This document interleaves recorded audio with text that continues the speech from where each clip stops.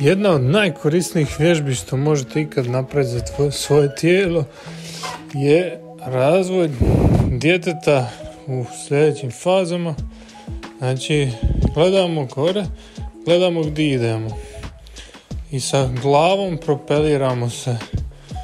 I skupa podižemo kuk pa glavu, skupa i na taj način bez previše kretanja. Vidite koliko malo kretem, krećem se s nogama.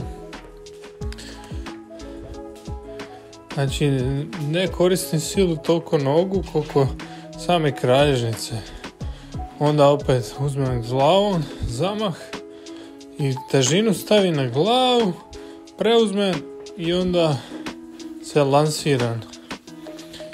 I jako je korisno znati ovo napraviti na pravilan način. Znači, rasporediti, raspodijeliti težinu kako treba.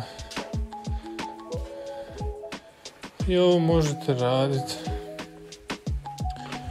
oko 10 puta napred, 10 puta nazad.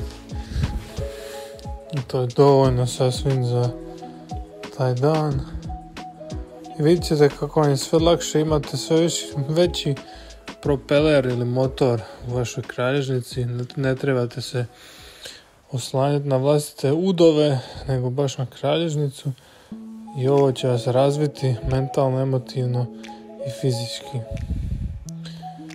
Ovo je jedna od prvih faza razvoja djeteta prije nego što nauči hodat. Ključno je ovo znati ovaj mehanizam i dobro ga istrenirati.